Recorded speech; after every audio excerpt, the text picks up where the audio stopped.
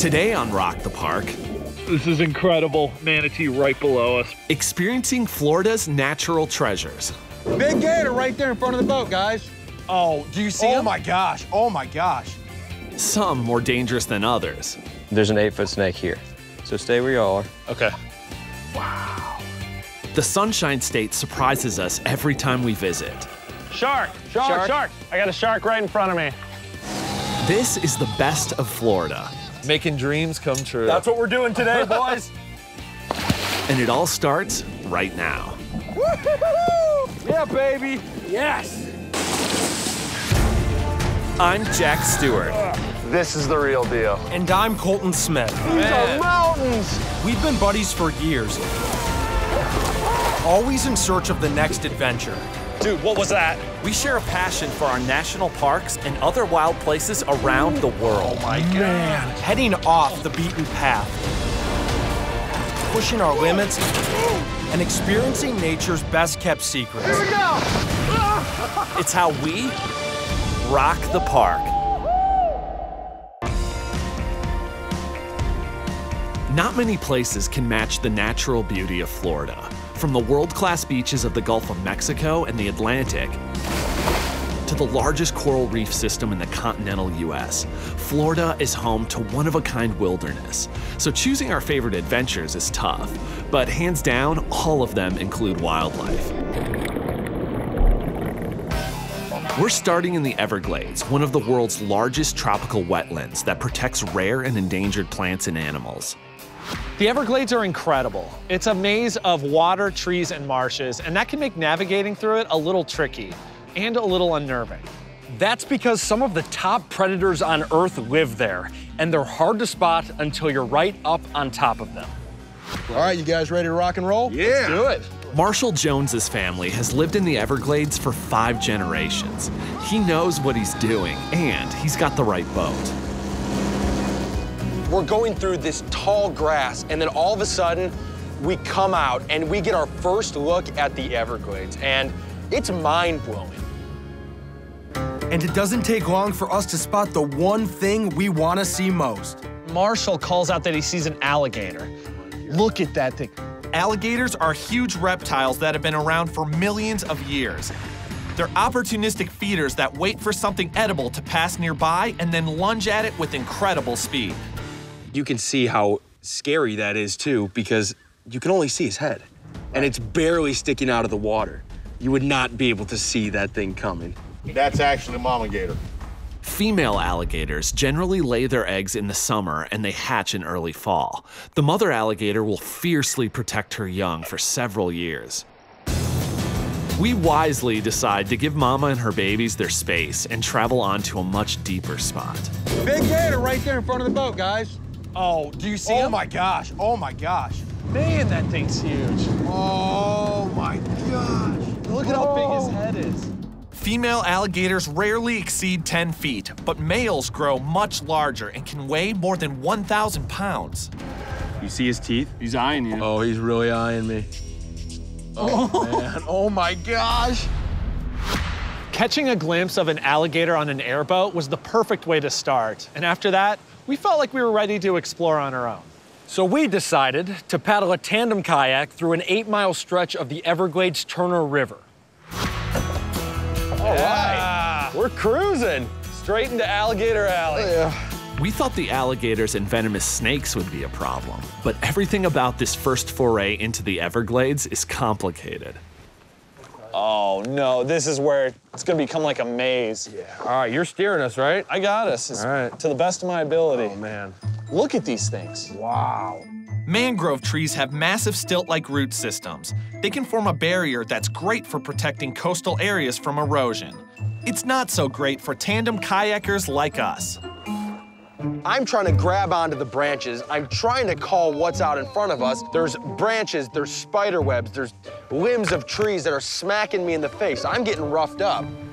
Oh my gosh, look at all these spiders. Look at all those spiders. Ooh, ooh, that's a big spider. Oh my gosh. Oh, oh, no, no. Oh, oh, oh, oh. Oh. Oh. Oh, man.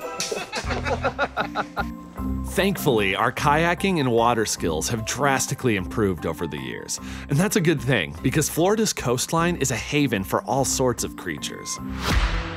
Shark, shark, Shark, shark, right shark. there. Where? I got a shark right in front of me. There's another one right out here in front of me. Oh my gosh, oh my gosh. We've entered into Shark Alley. Just south of Miami, Biscayne National Park is made up of mostly water. We're in a remote lagoon with our guide, Captain Hans. Nurse shark, their teeth are fused together and they make bony plates in their mouths. And they feed on crustaceans. So what they'll do is when they find something, they just bite down on it and crush the shell. If you were to stick your hand in the mouth of a nurse shark and it bit you, it wouldn't bite your hand off. What? It could break every bone in your hand, Right, but it wouldn't. but it wouldn't bite your hand off. That's amazing. So they're built to be able to, They to create- eat those crustaceans. Yeah, to just crush the shells of, uh, of crustaceans. Wow. Sharks play an important role in regulating this ecosystem. It's the animals that don't belong here that are causing major problems. They are pretty much a, a perfect invader. Florida is a beautiful state, but its wild spaces are under threat from pollution, climate change, and overdevelopment. As we look back on our best adventures, several involve helping eliminate another hazard, one that's impacting Biscayne Bay National Park. And one of the biggest threats to this park is something that lives in the water.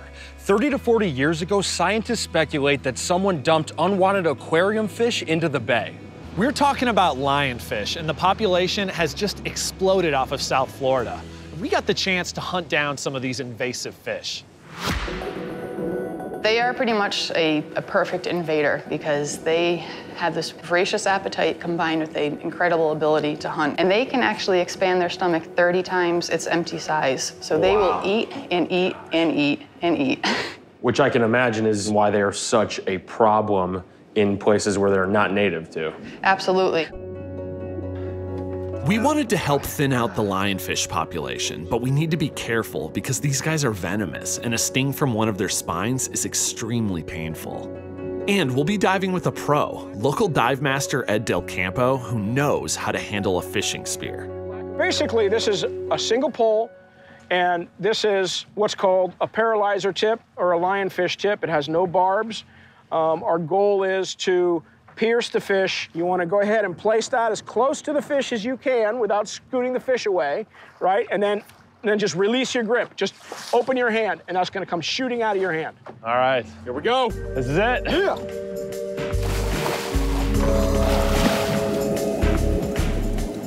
We swim down to 80 feet. A lot more lionfish dwell down here. Ed waves me down and hands me another spear. Now I just need to get steady before I shoot. Boom, I punch right through the lionfish, pull it out, and we've got our first catch of the day. That's one lionfish in the bag. Now it's Colton's turn, and his first shot is a hit, but it starts to wriggle loose. Ed swoops in and stows it in the spine-proof catch hold.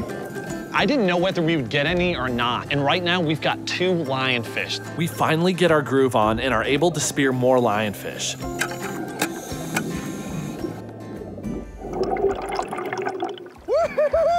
Yeah, baby. Yes. We got him. We did it. Mission accomplished. It felt really good to bag some of those guys. Invasive species like lionfish can wreak havoc and even wipe out native plants and animals. And they're not the only problem. Florida swamplands are being invaded by a creature that's threatening wildlife, destroying the ecosystem, and honestly just freaks me out. I'm talking about the Burmese python. Several decades ago, a few pet Burmese pythons were released into the wild. Now, these massive predators are multiplying fast and eating their way through the native wildlife. Park biologists like Matthew McAllister are working to track and manage the pythons, which can grow up to 18 feet long and weigh over 100 pounds. So really the females are the target due to the fact that they can lay an incredible amount of eggs. Yeah, as they get larger, their clutch size can, can be pretty high. They, they've had clutches recorded at over 100 eggs. Even though pythons are one of the largest snakes on Earth, they are hard to spot because they hide in grass, brush, and underwater.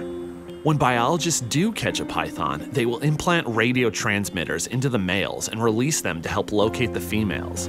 Matthew's radio just picked one up a half a mile from the road. You see how it'd be hard to find a snake in here? Yeah. Pythons are ambush hunters. They stay motionless for hours, waiting for prey to move right in front of them. Oh, I bet this snake's within 10 yards of us.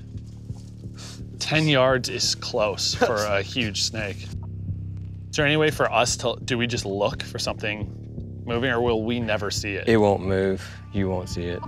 Just hang tight. There's an eight foot snake here. So stay where you are. Okay.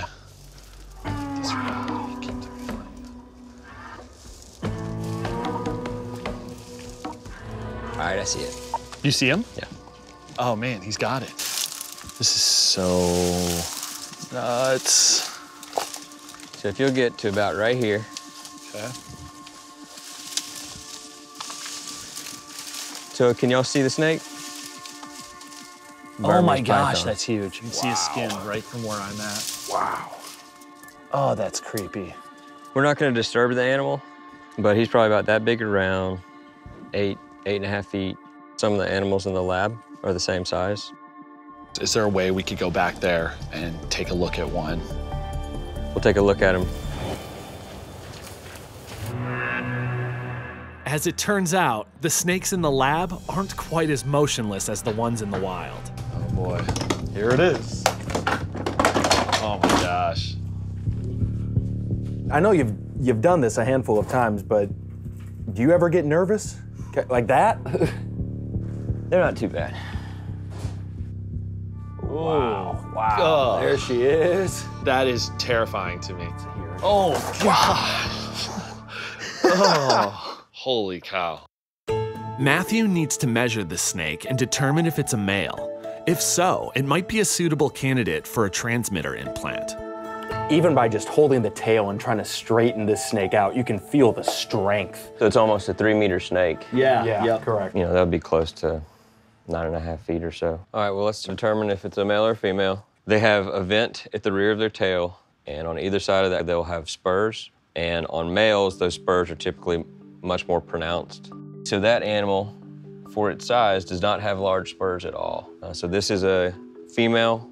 This um, is a female. yeah, Okay. and it won't be suitable for the program. So this snake will be euthanized. Just one small step in curbing the problem. They're not native. They're not supposed to be here. It really puts to bed the fairy tale of I'm going to let it free and have a good life because in doing that, you're doing something that's incredibly destructive to other animals and entire ecosystem. And it's not just invasive species wreaking havoc with Florida's wild spaces. Human activity is taking its toll as well. So there's a lot of lobster traps, there's a lot of anchors, there's a lot of line from both of those that gets wrapped around the coral and entangles the coral.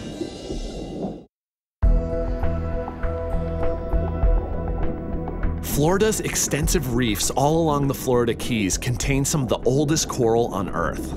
Healthy coral reefs are amazing to see, and they're incredibly important. About a quarter of all marine life either lives on or near them. The Florida Reef is one of the biggest barrier reefs in the world, but it is in serious decline right now because of climate change and pollution. Local divers are working hard to clean it up, and we got a chance to join them. Courtney Benson is part of an organization that's pulled thousands of pounds of debris from these waters. What are we going to find down there? So there's a lot of lobster traps, there's a lot of anchors, there's a lot of line from both of those uh, that gets wrapped around the coral and entangles the coral. The debris can crush or break off existing parts of the reef and prevent new coral from growing where it lands. You said boat anchors. Right. How does that even work? So we're gonna have lift bags. Um, so we fill these up with air with our alternate. So we can lift up to about 100 pounds, 200 if we have a larger lift bag.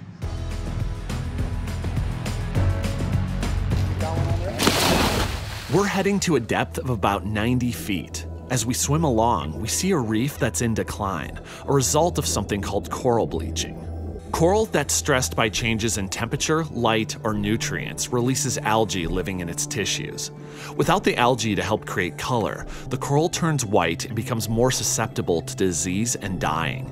Debris makes it worse. And we're starting to find it. I start working on a snarl of fishing line that seems to be going on forever.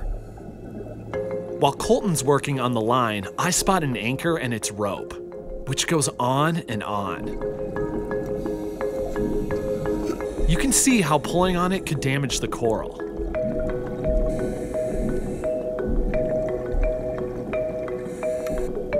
I carefully start cutting and collecting the rope, and Courtney gives me a lift bag for hoisting up the anchor. I'm using air from my tank to inflate the bag so it will act like a balloon and help lighten this load when we ascend to the surface. Even with the lift bag, this anchor is still extremely heavy, so we take turns carrying it.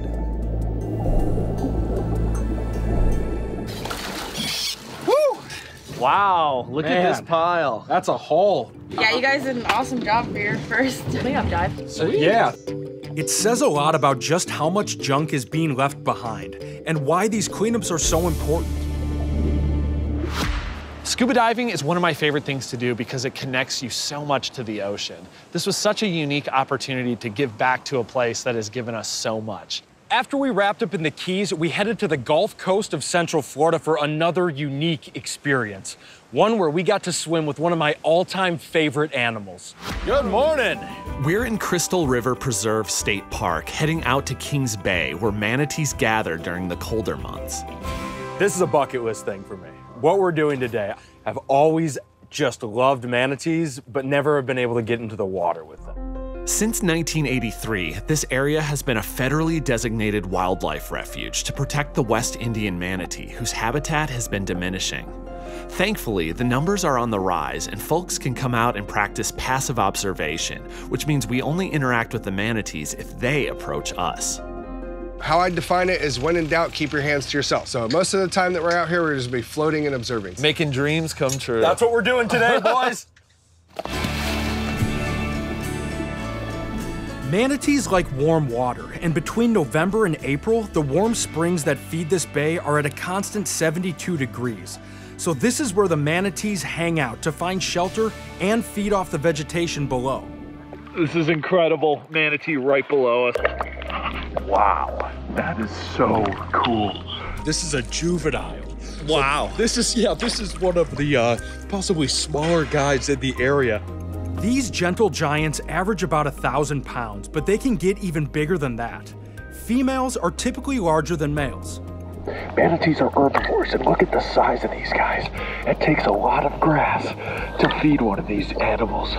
They actually need to take in 150 to 300 pounds of food each day. That's why they're known as sea cows.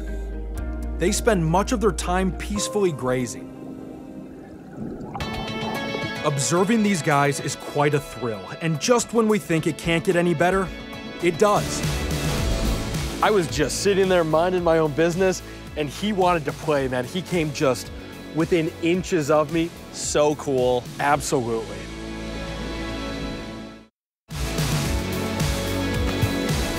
We're in Florida, reliving some of our best adventures, and this is certainly Colton's all time favorite.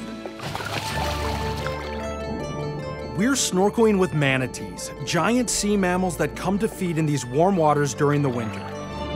And then it happens. One of the young ones comes swimming right over to me. Not afraid whatsoever.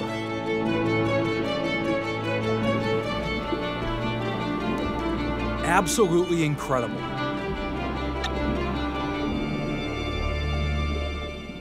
This is so cool. Just floating here, watching them eating, coming up to the surface.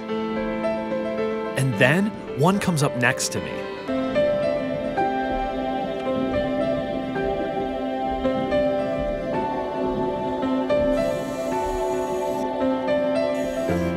Dude, awesome. Amazing, man. That's a bucket list. That's a check right there. Florida's stunning scenery, unique ecosystems, and abundant wildlife make it an amazing destination for fun and adventure. Every time we're here, we discover something new. And remember, Hey, if we can do it, so can you. so the next chance you get, go out and rock the park.